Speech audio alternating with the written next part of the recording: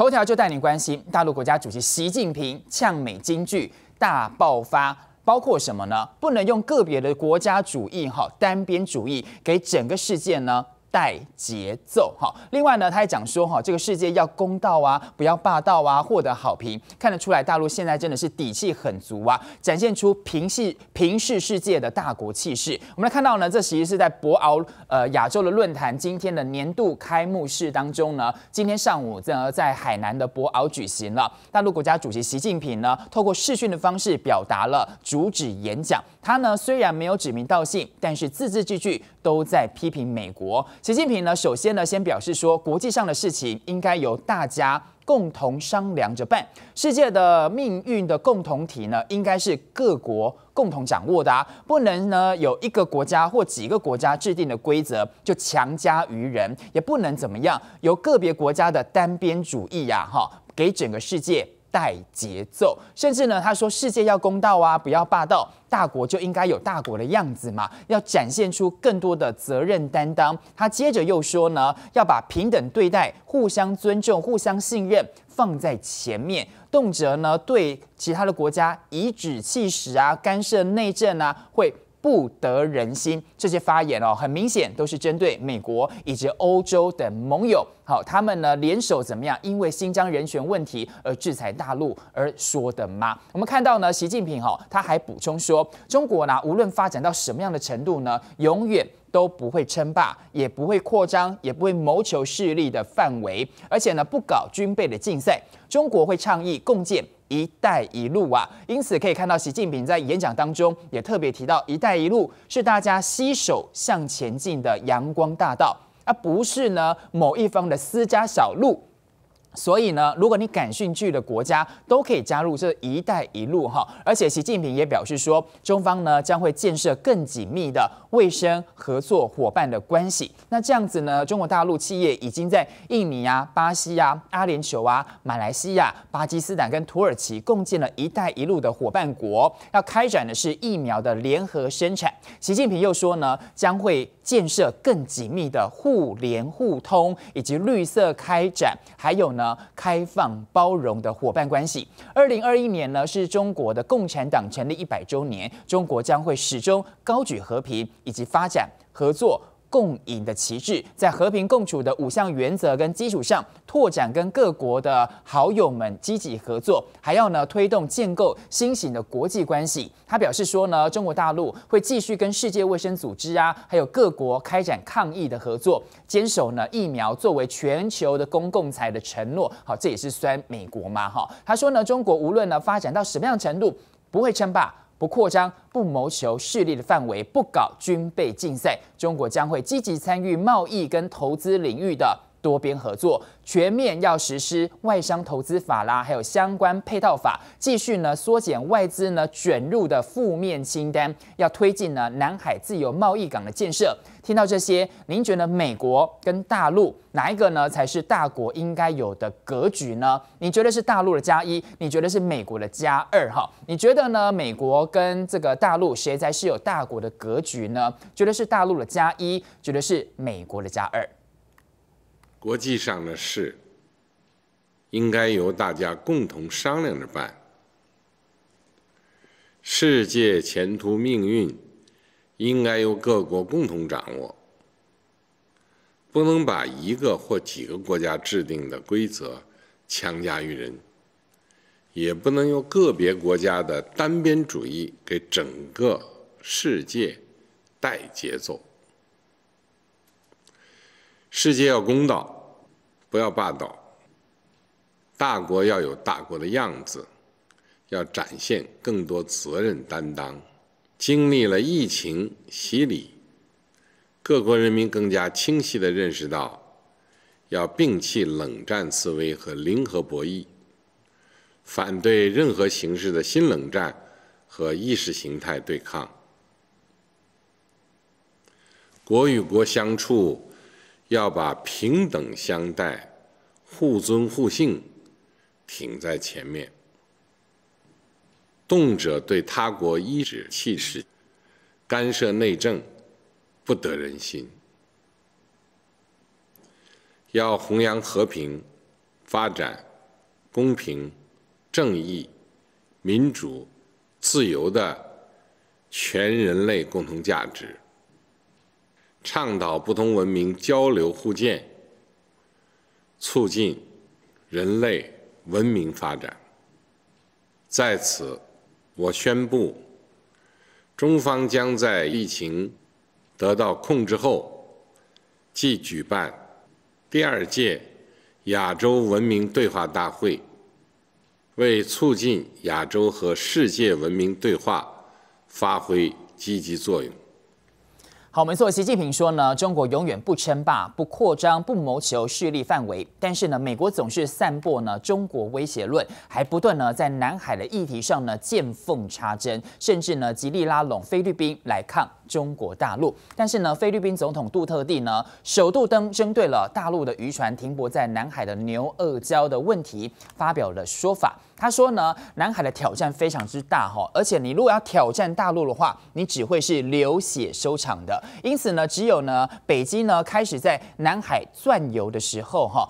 钻油田的时候，他才会呢派军舰过去。杜特地呢发表电视的谈话，是针对呢三月以来美国主导，美国主导就指控啊，这个中国大陆呢在这个牛二礁有数百条的船只聚集在大陆跟菲律宾在南海争议的牛二礁的事情，哈，是美国主导的这个事情，他首度发表了谈话。他说呢，如果呢我们呐跑去主张这个管辖权的话，那就就会怎么样流血来收场。所以杜特地说现在呢不是跟大陆对抗的时候啦。如果我现在派了五艘海巡船过去的话，跟他们玩什么你追我赶的活动哈，那怎么样呢？就是看谁跑得快，这有意义吗？不过呢，如果北京开始在南海钻油的话，就另当别论了，他就会派军舰过去。如果呢，他们把脑筋动到了石油上，那就是菲律宾开始要有行动的时候了。路透社呢，他其实有分析啊，其实说呢，不，呃，菲律宾人士呢，有一些人是批评那个杜特地啊。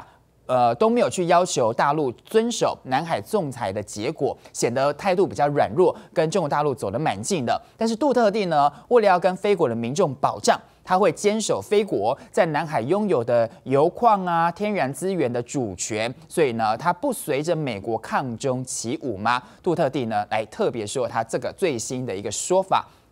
好，接着我们来看到杜特地哈，他有强调说呢，我目前呢对于捕鱼是没有那么大的兴趣啦，他也不认为说在这个地方牛二礁附近的渔获量有大到值得去争吵，去跟中国大陆争吵。但是呢，谈到矿产的时候呢，这个南海的地区的真正的核心的部分，也就是石油的问题的时候，那个他才会派遣军舰到当地去伸索主权。如果呢中国大陆开始在那里钻油的话，他将会告诉中国说，这是我们协议的。一部分吗？我也会将会在那里转悠哦。但他也重申呢，他想要跟北京要保持盟友的关系。杜特地说呢，菲律宾无法在不流血的情形之下落实二零一六年的南海仲裁。当时的仲裁呢是认为菲律宾呢在其经济的领域区拥有主权，但是北京认为这个仲裁是没有效力的，也拒绝承认。菲律宾呢是呃迄今呢都还在就大陆呢南海的动作速度提出了相关。的外交的一个做法跟抗议，其中一次呢，就是指控呢，中国啊，在这个所谓的领海有超过两百四十艘的船只出现了非法捕鱼，甚至还有牛二礁的事情。接着我们来看到，说到南海的争议，欧美国家呢频频都来到南海哈，似乎呢也让这边的局势局呃局势呢升温了不少。我们来看到呢，法国的海军的直升军的军舰哈是托纳尔号，以及呢苏维。呃，苏尔库夫号的巡防舰呢，组成了圣女贞德的战斗群，哈，可以看到在这个地方，他们那个澳洲的皇家海军呢补给舰。天狼星号在南海这个地方会师了啊，这个也可以看到呢，在南海的时候，他们呢一起来会师，甚至呢，法国的船舰呢还接受了澳洲的天狼星号的补给。这个是在南海这个地方，看起来局势越来越升温了。另外一边呢，我们看到美国的罗斯福号呢航空母舰的打击群，它呢在呃十六号的时候呢停靠了关岛来进行相关的补给之后，现在也要返回南海这个地方执行任务的途中，所以印太。在地区可以看到很多国家的船舰呢，都在这边自由航行，所以可以看得出来，美国呢号召这些他的盟邦们来到南海这个地方呢，其实也是要围堵中国大陆的态势。非常的明显。尤其呢，我们来看到哈，日本呢陆上的自卫队，它也宣布了，宣布什么呢？五月十一号到十七号的军演，也要成为呢法国的军队首度呢在日本境内举行的军演。那法广之声它有分析呢，显示啊，印太呢跟台湾议题现在已经成为国际上非常重要的议题了。菲律宾总统杜特地十九号晚间发表全国电视演说，警告南海牛二礁，也就是菲律宾说的西菲律宾海域争议，如果走到了中非开战，菲律宾没有胜算。You know, you know the cost of war, and if we go there and you really to find out and to assert jurisdiction, he said it would be bloody. It will result in a violence that we cannot maybe win.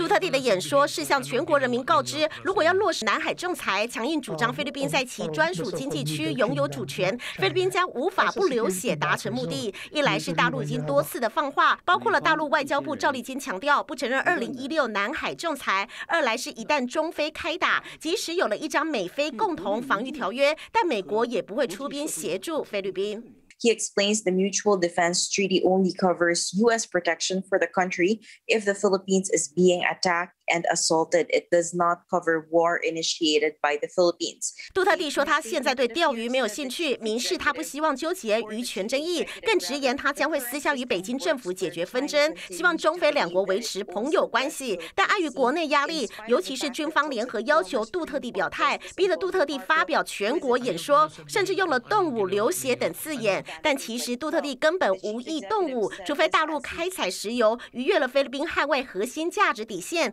南海海底丰富油矿。Kinuha na yung oil, kung anong mga nickel yan, and uh, precious stones. That would be the time, because that is the time that we should act on it. 包括了渔船在内的大陆数百条船只，三月份聚集南海牛二礁。画面经过菲律宾披露后，成为菲国军方以及反对派人士向杜特地施压的最佳佐证。甚至以海上民兵形容当时在牛二礁的集结船只。而杜特地这一番吃了诚实豆沙包的全国演说，能不能安抚在野党与民众？后果牵动明年菲国总统大选。记者综合报道。好，没错。尽管呢，美国在牛二礁南海的主权问题上不断的见缝插针，但是呢，菲律宾的总统杜特地面对于大陆之间的南海争议呢，他其实一直都是主张希望用谈判的外交手段来解决。我们来听听看前驻纽西兰大使谢文吉怎么分析。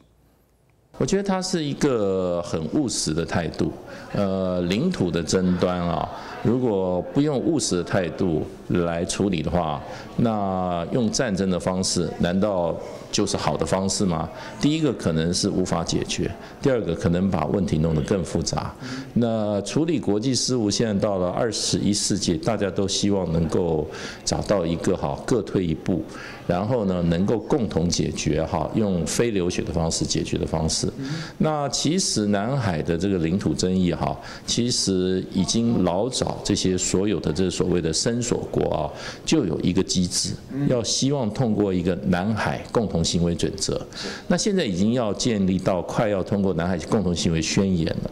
所以说，过去这段时间，这个多边的机制，哈，所谓的有伸索国，大家有在这个区域里面有领土主张的国家，事实上已经有个机制了，不断的在寻求一个共同的解决之道，而且渐入这个哈曙光，正在往前走。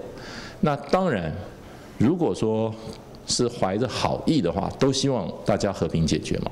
可是有一个国家是不愿意见到大家和平解决的，就是美国。所以美国不断在南海哈，不断的挑起啊，他进去来挑战哈，又好把中国大陆作为一个主要的一个好像一个一个一个声讨的对象哈。其实他的动机是要把这些有领土主张的国家哈。能够对立哈，能够加剧，甚至啊，我们发生战争的话，那很符合美国的利益。所以，呃，杜特地是应该是把这个美国的这个阴谋啊看得最清楚的。那他回到，应该就是说，今天南海的问题是对这块海域有主权主张的这些国家才有发言权。那不是这个区域的国国家进来，那纯搅局，纯是希望把这些小事变大事，大事变成哈战事，那他最高兴了。所以我觉得，呃，杜特地还算是一个头脑蛮清楚的人。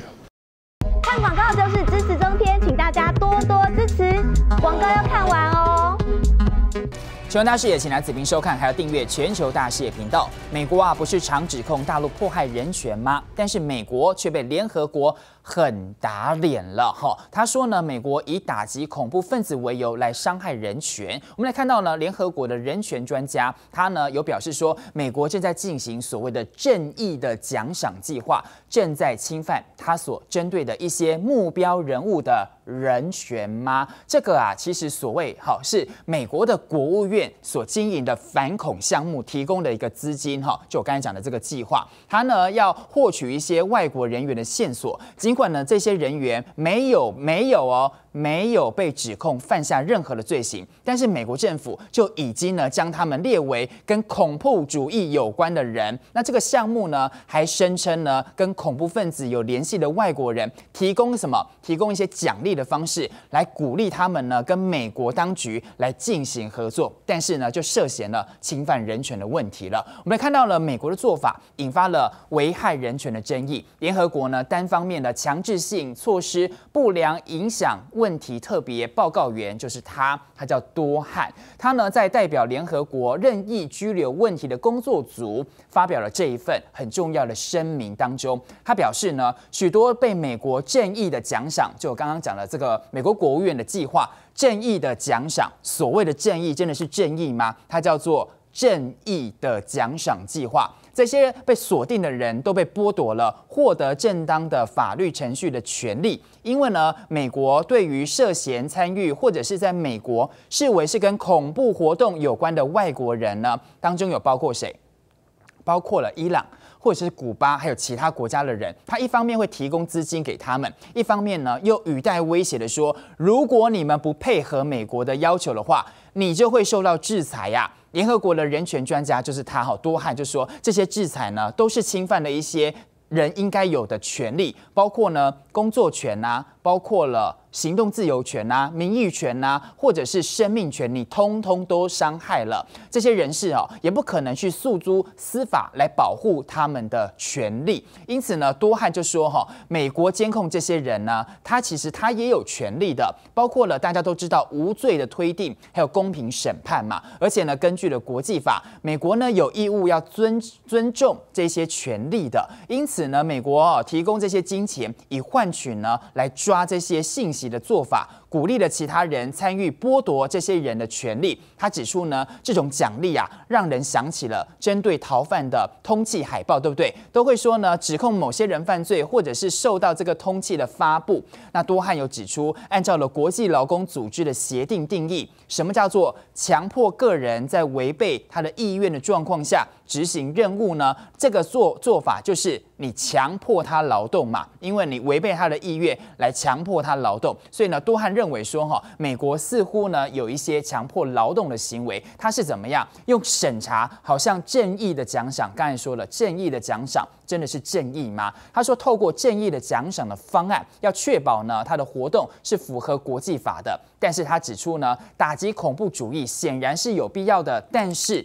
但是呢，你必须还是要根据联合国全球的反恐战略，适当要尊重人权嘛，还有国际的人道主义嘛，以及呢难民法。多汉呢已经跟美国政府提出了他的这一些很多很多的问题，还有呢他对于说这个违反人权的问题，但是到现在呢都还没有收到美国的答复。你认为美国是否应该说明为何要强迫个人在违背个人的意愿之下呢来执行任务？认为美国该说明的加一认。为不用的，好，它是正义的加二。你认为美国呢是否该说明为何强迫个人在违背意愿的状况下执行任务？认为应该的说明的加一，认为不用的加二。我们来子评聊聊。的确呢，针对联合国的人权专家就美国侵犯人权来发表声明，大陆的外交部发言人汪文斌他就说了，美国呢，你动辄就怎么样？用涉嫌呐，你这个人涉嫌呐，参与了恐怖活动为理由，通过了威胁、制裁等这些强迫的手段，来逼迫其他国的人员违背自己的意愿跟美国来合作，就是属于国际劳动组织当中定义的强迫劳动，不是吗？就是强迫劳动这些行径啊，侵犯有关人员的工作权、自由权、名誉权跟生命权。刚刚有分析了，严重的违背人道主义精神跟国。国际法，事实证明，强迫劳动这一顶帽子呢，是要扣给美国你自己的。中方啊，奉劝美方呢，应该认真的倾听国际社会的关切，要认真的检视自己存在的严重人权的问题，而且要采取呢实质的做法，要来加以改进。的确呢，我们来看到说，联合国人权的专家说呢，美国一项所谓的正义的奖赏计划。侵犯了人权。前驻纽西兰大使谢文吉有精辟的说法，一起来了解。我觉得美国的人权哈侵犯他国甚至他本国人民的这个人权的案件啊，呃，非常的多，而且被联合国的一些人权机构哈成立的特别的一些调查小组哈，在报告中指出侵犯人权的这样子的。案例哈，那太多了，可以说班班可考啊。如果有兴趣去看翻联合国记录都可以。那联合国这个人权会每年在四月在日内瓦开会的时候，那么检讨美国的人权记录的话，也是问题很多。所以美国，因为他掌握了世界媒体这个传播的渠道，所以美国人都不谈。甚至美国老百姓也不知道，所以美国真的是一个霸权。他不但他这个掌握了其他国家他自己做的事情啊，如果是坏事的话，他还不让人家知道。那因为他的媒体就不报道。那最近他们创普的拜登的时候，曾经直接去制裁哦，那个联合国设立的哈国际刑事法庭的法官。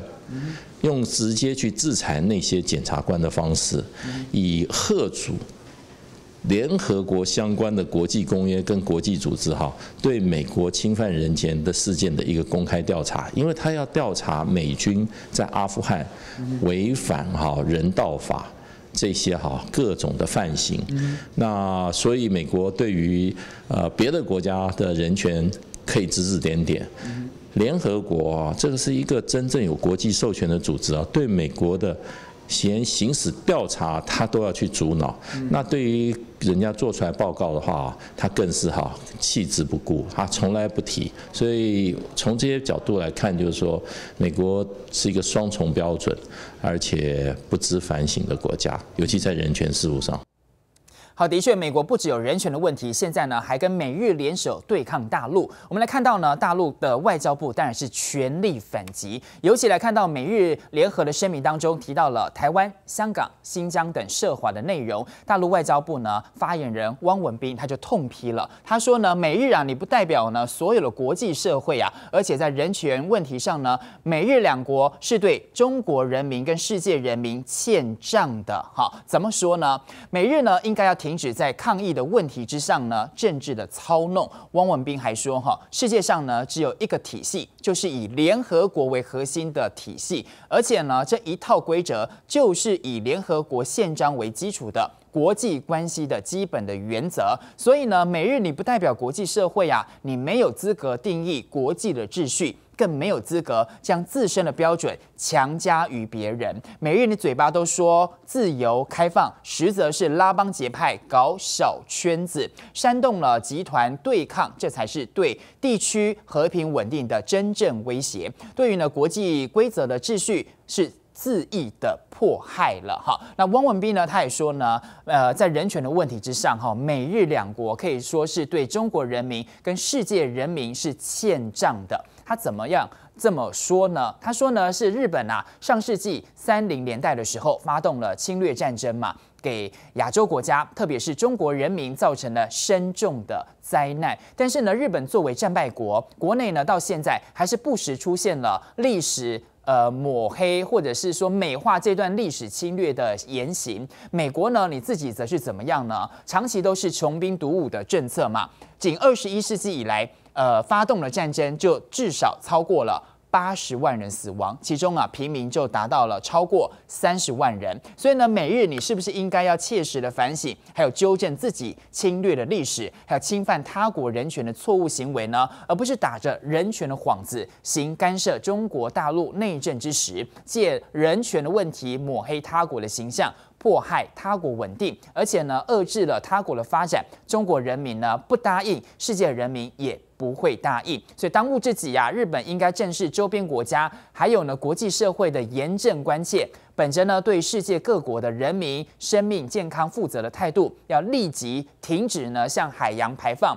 和污染水啊，甚至呢，大陆还说这种损人不利己的行为。汪文斌就指出来说，现在最重要的就是要击垮疫情，最需要的就是秉持科学的精神，还有各国通力的合作。美国其实把疫情哦抗疫变成政治化，而且呢，对其他国家都是怎么样污名化啦、大搞甩锅啦、退群啦，不仅使得美国人民付出沉痛的代价，其实也对国际的抗疫合作造成了很大的阻碍。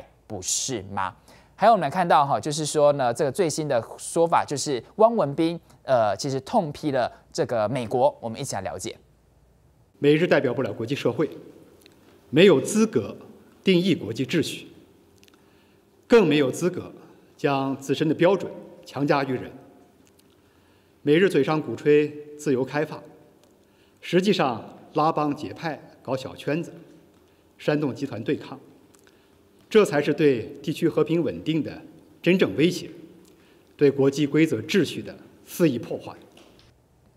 说到了美国人权，美国到底怎么了？美国仇视亚裔怎么这么的严重呢？就连亚裔的记者呢，卡罗琳呢，在采访哦。采访都受害，他就是他哈，他是美国的有线电视 CNN 的记者，他是一名的亚裔美国记者，但是呢，他在报道就是这个地方美国明尼苏达州的抗议活动的时候。遭到警方很粗暴的对待跟逮捕，她不仅呢被州警哈摔倒在地上，她是一个女子哎，竟然被警察摔倒在地上，随后呢还被送往了监狱。根据呢美国 CNN 还有纽约日报的相关新闻哦，纽约每日新闻的这这些报道，他说呢代表美国还有二十多家媒体的机构，还有呢职业记者的协会的律师叫沃克。他最近呢，有发了一封信给明尼苏达州，还有呢他的州长、地方官员，提到了这些组织对于明州过去几天发生的事情，让各界都深感不安呐。他在信中有讲了这个。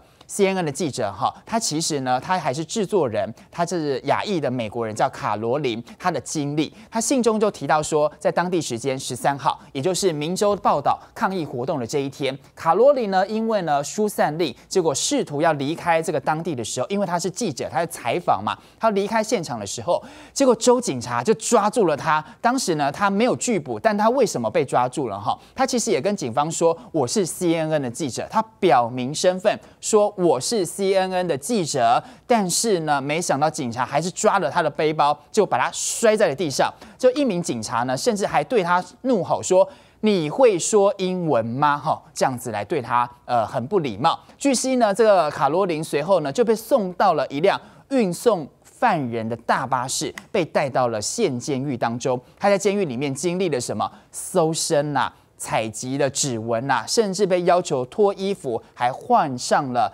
橙色的球衣，结果直到两个多小时之后才被释放。所以会觉得，真的美国到底怎么了？亚裔就应该要被你歧视吗？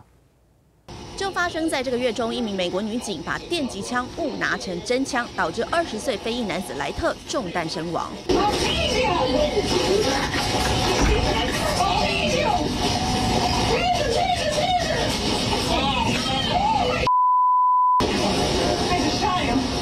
事件发生地点和弗洛伊德案件发生在同一座城市，而且距离不远，因此又一次引发民众群情激愤，上街头示威。CNN 一名女性牙裔制作人凯洛琳颂为此到场采访，没想到却被警方捉住。尽管她表明记者身份，也拿出了记者证，但仍被警察重摔在地，最后还将她上铐送上囚车。On Tuesday, CNN producer Carolyn Sung was thrown to the ground by state troopers and zip tied, even though she kept identifying herself as a journalist and showed her credentials.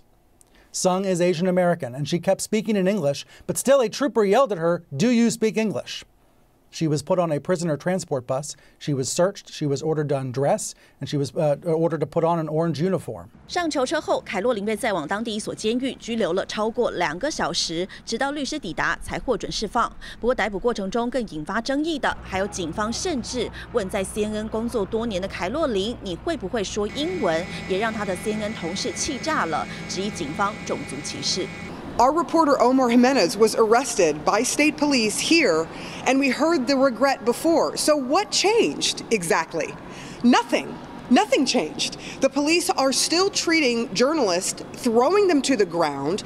The fact that they asked Carolyn Sung, who is an excellent producer, who cares deeply about the stories that she goes out and covers, the fact that they were asking her after throwing her to the ground, Do you speak English? What does that tell you about the mentality of the police that grabbed her? It's not okay, and it should not be a regret. It should stop, it should change. 向来自认自由民主、人权至上的美国，近来似乎状况不少。除了种族歧视问题不断，边境移民政策也是状况连连。¿Qué pasó? Es que yo venía con un grupo De y me dejaron botar y no sé dónde están. No sabes dónde están? ¿Te dejaron solo? Pues claro, me dejaron botar. 对于美墨边境移民政策，川普过去是采取强硬态度，筑起美墨高墙，驱逐移民。拜登上任之后，则是承诺用人道主义来应对边境移民问题。Provide safe and orderly processing of asylum seekers at the United States border. 不过，这样的开放态度却导致企图跨越美墨边境的移民大增，而且绝大部分都是未成年孩童单独闯关。还有人蛇集团成员竟然将一名三岁和一名五岁女孩从高墙边往下丢，还好被监视器抓到，因此边境管理员前去解救。各种离谱又危险的闯关行径，让外界对拜登边境政策打上问号。再加上搞不定的种族问题，种种人权议题成了拜登执政以来最大危机。记者谭若仪综合报道。